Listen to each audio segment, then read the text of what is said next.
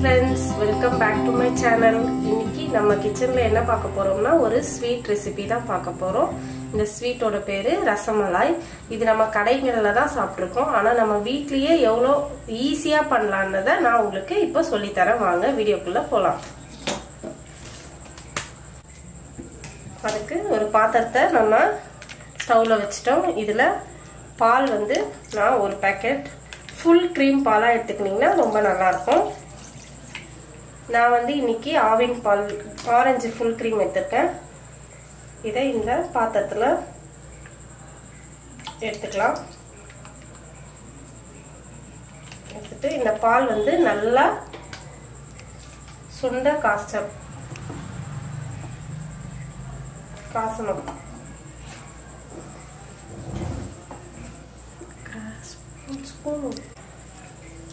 இந்த பால் வந்து நம்மளுக்கு நல்லா சுண்டி காஞ்ச வர வரைக்கும் நல்லா காய வைக்கணும்.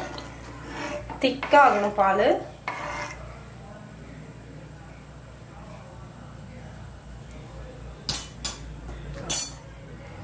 நம்ம இந்த பால் காயறதுக்குள்ள நான் வந்து இந்த பாதாமை வந்து ஒரு பத்து பாதாம் வந்து தண்ணியில் ஊற வச்சிருக்கேன். இதை தோல் எடுத்துட்டு இதை கிரைண்ட் பண்ணின்னு வந்துடுறேன்.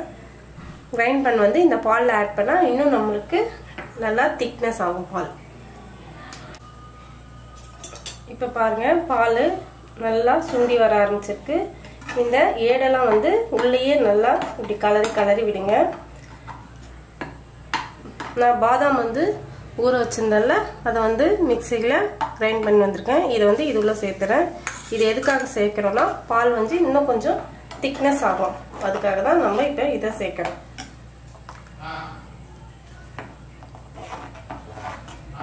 பாதாம் பேஸ்ட் சேர்த்தாச்சு. இப்போ நல்லா கலரி கொடுங்க. நான் கொஞ்சம் போல் குங்குமப்பூ ஆட் பண்ணிக்கிறேன்.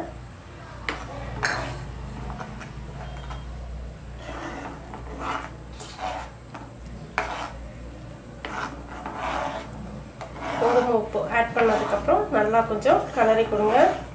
இந்த மாதிரி ஓரத்தில் இப்படி எடுத்து எடுத்து இதை அப்படியே உள்ளே விடுங்க. அப்போ தான் பால் வந்து நம்மளுக்கு நல்லா ரிச்சாக கிடைக்கும்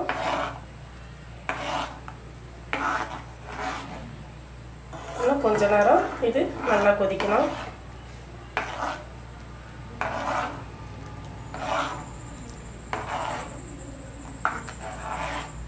நம்ம இதில் பாதாம் வந்து அரைச்சி போட்டதுனால நல்லா திக்காக நம்மளுக்கு ரொம்ப சூப்பராகவும் இருக்கும். இப்போ நான் வந்து சுகர் ஆட் பண்ணிக்கிறேன் இதில்.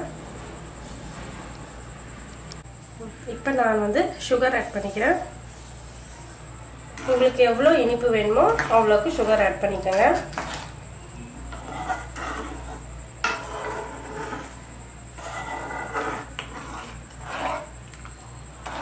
நம்ம குங்குமப்பூ ஆட் பண்ணியிருக்கிறதுனால பால் வந்து கலர் கொஞ்சம் எல்லோயிஷ் கலரில் வந்திருக்கு.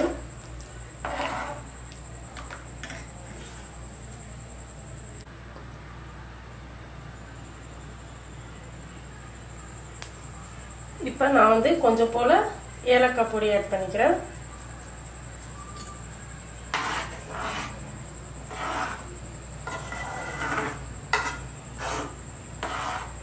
பாருங்க பால் நல்லா திக்காகி பார்க்கவே எவ்வளோ சூப்பராக இருக்கு பாருங்க.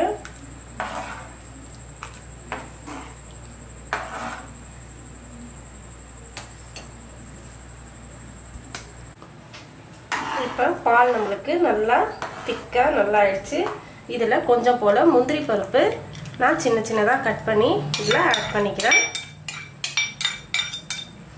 ஆட் பண்ணிவிட்டு கலரி விட்டாச்சு.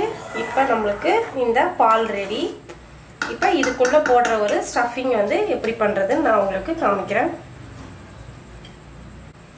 இங்கே பாருங்கள் இதுக்குள்ளே போடுற ஸ்டஃபிங் வந்து நான் வந்து ப்ரெட்டு தான் யூஸ் பண்ண போகிறேன் ஆக்சுவலாக இதை நம்ம ப்ரெட் ரசமலாயின்னு கூட சொல்லலாம். அதுக்காக நான் ப்ரெட் எடுத்து இப்படி ஒரு ஷேப்பை வச்சு இப்படி ரோல் பண்ணி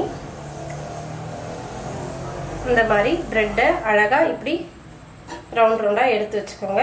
இதை வந்து அப்படியே சேர்த்தாலும் சேர்க்கலாம் பாலில். இல்லைன்னா கொஞ்சம் கீழே வந்து நம்ம இதை டோஸ்ட் பண்ணி எடுத்து சேர்த்தோம்னா இன்னும் கொஞ்சம் நம்மளுக்கு கிறிஸ்பியாகவும் நல்லாவும் இருக்கும். இந்த மாதிரி எல்லா ப்ரெட்டையும் நம்ம கட் பண்ணி வச்சுக்கலாம்.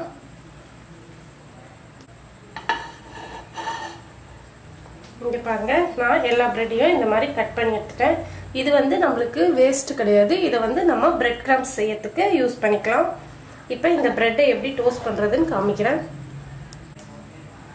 இப்போ நான் பேனில் கொஞ்சம் கீ போட்டிருக்கேன். இந்த ப்ரெட்டெல்லாம் வச்சு டோஸ்ட் பண்ணிக்கிறேன்.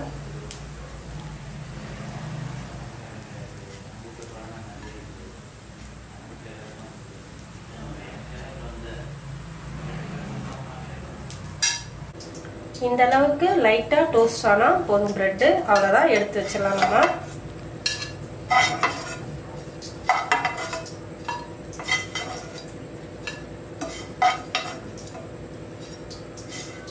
இந்த ப்ரெட்டையும் இந்த பாலையும் வந்து நம்ம தனித்தனியாக வச்சுட்டு நம்ம எப்போ சர்வ் பண்ணுறோமோ அப்போ வந்து இந்த ப்ரெட்டை அதில் ஆட் பண்ணி கொடுத்தா நல்லாயிருக்கும். முதலே போட்டிங்கன்னா ப்ரெட்லாம் வந்து ரொம்ப குழஞ்சி போயிடும்.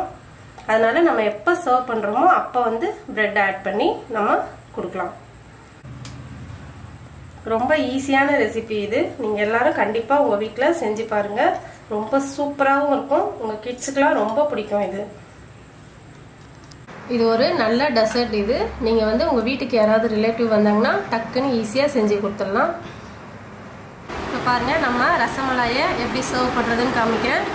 இந்த பாலை இதில் போட்டு இதுக்கப்புறமா இந்த ஸ்டஃபிங்கை இது மேலே போட்டுருங்க.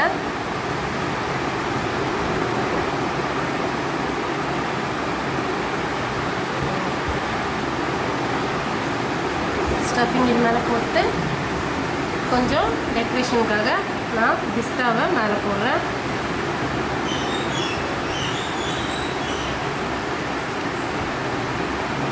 அவ்வளோதான் நம்ம ரசமலாய் ரெடி ரொம்ப ஈஸியாக ரொம்ப சூப்பராக செஞ்சிடலாம் இதை.